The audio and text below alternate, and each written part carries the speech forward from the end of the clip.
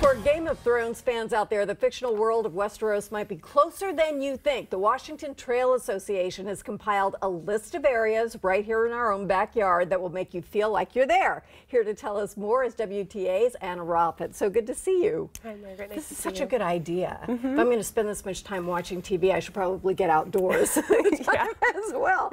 So we're going to kind of compare fictional places in the show to real life places in Washington where we can all go and, and hike around. Um, what is Dorne like? So Dorne is this beautiful sandy dune area, and the equivalent hike that we created in um, our article was um, for the Hanford Reach, which is over in central Washington. It is remarkably similar. You can see on our website, WTA.org, this feature with some side by sides of each. Um, We're looking at it right now. Yeah, and, and- Hanford Reach even sounds like something that could be in the show. so Sure. it's yeah. pretty cool. Yeah, it's remarkable. It's also a really good hike um, in the shoulder season or in the winter time when um, it's really snowy or wet over on the Cascades and you just want to dry off a little bit. Yep. Hanford's a good a good pick. Is this part of kind of the Mediterranean climate that winds up the middle of the state? Sort of, yeah. It's more like high desert, but that's kind of in Oregon. But sure, yeah, it's that deserty, um, high and dry. Love um, it. Yeah. Okay, so you found an equivalent of Dragonstone. Yes. Oh my gosh. This one's one of my favorites. Um, Steamboat Rock is a beautiful area up in the Grand Coulee part of Washington State, and this hike is just a short little walk, and then you actually do have quite a bit of a climb to get to the top. Like how, how much is quite? Well, it'll say on our website, WTA.org, Yes. you can find any hike in Washington. You can also find the elevation gain. This one, I think it's probably close to 150, maybe 200 feet, but it oh, is kind okay, of all fine. at once. I thought it was So- going to be like Oh no, no, you know, it's 4,000 flat. feet or oh, something. Oh no, no, no, no. It's just that you have to do it like whoop, to get Yeah. right on top. But once you're there, you've got amazing views. It So does look like we can judge from the list how easy or hard this is. You'll let Yeah. us clue us in on that. Okay, so King's Landing Mhm, of course. is much like. um, our Kamiak Butte entry, which is uh, way out in the Palouse part of eastern Washington, and it's gorgeous. Rolling hills, um, that checkerboard farmland that you can see, these big skies and clouds. Mm-hmm. So pretty. It's really lovely. But no dragons have burned it to ashes, No so that's good. The only dragons you're going to see are about this big in the lizard category. Lizards. Okay, something that is um, analogous to the Reach. Yeah. Oh, this is another great one. Um, Twin Sisters Rock, very accessible. It is right off of one of the highways coming out of Walla Walla, and it's really short. The one thing that I do tell Oh, folks to think about. Yeah, isn't that great? It Yeah, just you looks guys exactly have done like such it. a bang up job on this. It's so yeah, cool. yeah, we did. I was thrilled about the side by side photos. But those rocks are accessible via about half a mile little stroll right off the highway. Mm-hmm. The one thing I do let folks know is this one is really close to private property, so do know where you're going. Yep. Check WTA.org, get a map, make sure that you're staying on public land. Can you climb on the rocks? It's not recommended. So it's just kind of go look and Yeah, see you kinda and go to the climb base. it. Okay, makes sense.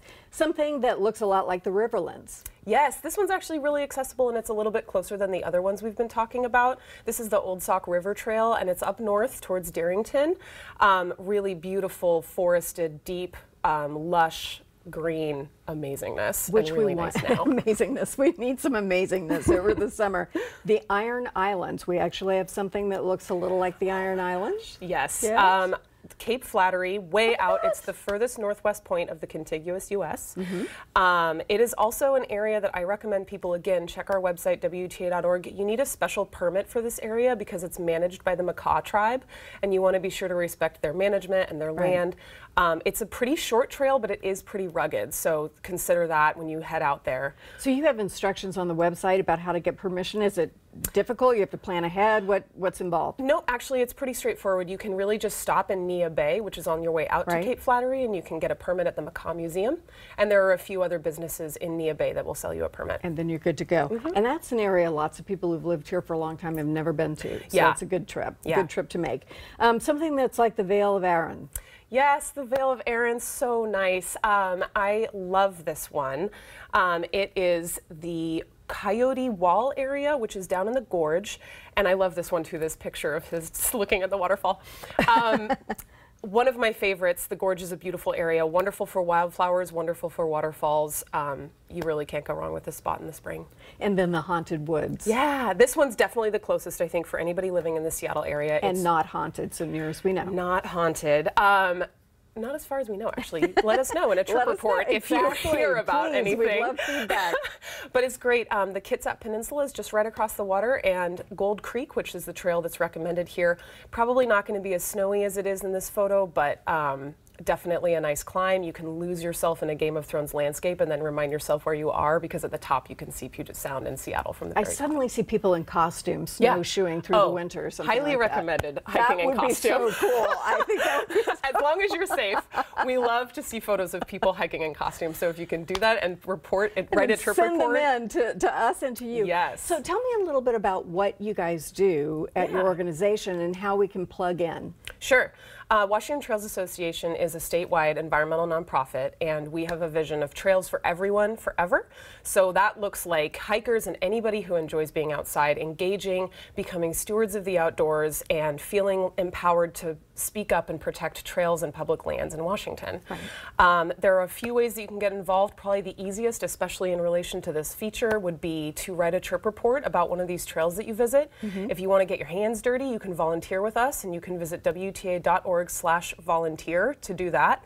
Um, and if you're into advocacy and you want to make sure that our trails are funded for the future, please join our advocacy um, email list. It's the Trail Action Network, and you can find it all at WTA.org. That's awesome. So, what is your general opinion about when to get kids out on the trails? Oh, yeah. Um, I am a big proponent of getting them out whenever you feel like it's going to be fun. Um, that could mean the snow, if they really like snowshoeing, if they just want to have a snowball fight, that could be winter.